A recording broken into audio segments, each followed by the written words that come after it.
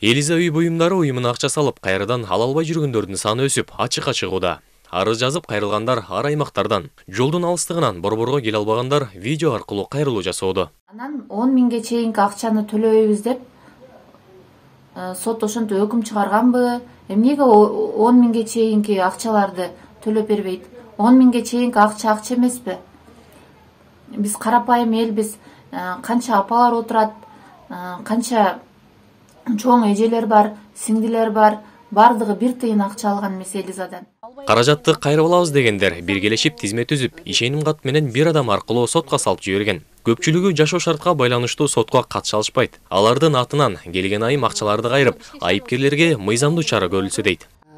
Мындагы ушу түштүк жергесинен келдим. Кырк адамдын атынан. Ушу жалал абад областы боюнча өтүнүч кылып ушул эки жүз он сегиз адам жүз жетимиш үч үй бүлө.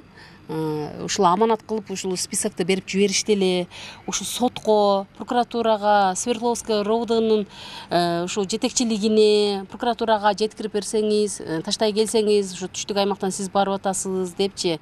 Жазган арыздарда он миң сом болсо да кайрып берүүсүн талап кылгандар бар. Баардык ровд свердлов райондук прокуратурасынан жардам күтүшүп ушул биздин он миңге чейинки сумма ушул акча эмеспи. Биздин ушул э, алардын он миңге чейинки арызды албайбыз деген канчалык э, мыйзамдуу э, деп жазып атышат мына. Он миң сом эмес бекен жүз сомубузду да бирөө тартып алса ага укук коргоо органдары чара көрүүгө тийиш эмеспи дешип кайрылып атышат ушуларчы. Бул оюнга катышкандар көбүн эсе үй буюмдарын алууну каалашкан. Зулайка апа да үй буюмун алсам деген ниетте акча которгон жыйынтыгында буюм эмес салган акчасын да ала албай олтурат. Элизага эмеге жазылгам бир буюм алайын деп. Анан кийин эми ал берген жок элине жазып ошол кеткен акчамды төлөтүп алайын деп келсем төлөбөй дагы кетип калышты акчаны жүз процент кайрып берсин болду алган акча.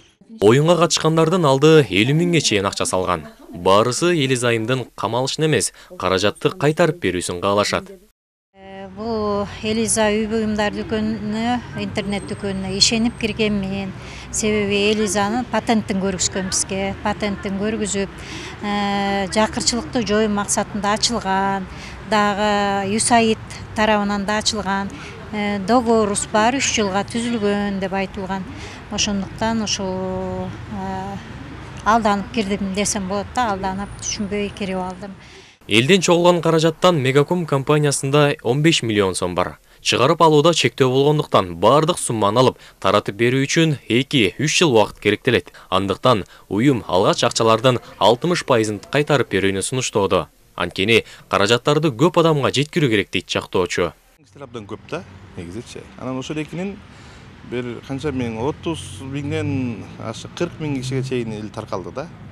Анан азыр Бир жыйырма миңдей киши бар мынакей кечээ эле дагы келип кетишти кечегине ошол жабырлануучулар тараптан келип баягы тосмо арыздарын жазып берип атышат да мындай айтканда баягы таратылып атат акчачы эми бир эки жылда могу мегакомдон канчадан бүтөт эки үч жылда чыгып бүтсө эки үч жыл ошол улам чыккан сайын бериле берет да бизден бул бизден зависить этпейт да эгерде мегаком чыгарып берип койгондо анда таратып коет элек а эгерде ал чыгара албай атса биз канча уюмдун шарттары үч жүз алтымыш сом эки миң болуп кайтмак эгер үч жүз алтымыш сомго оокат алам десе үч миң сомдук буюм берилмек азыр жабырлануучулар салынган акчаларды гана кайтарып алууну суранышууда сот дагы жыйырма үчүнчү июнь күнү өткөрүлмөкчү асылбек байалиев руслан бараненко лтр бишкек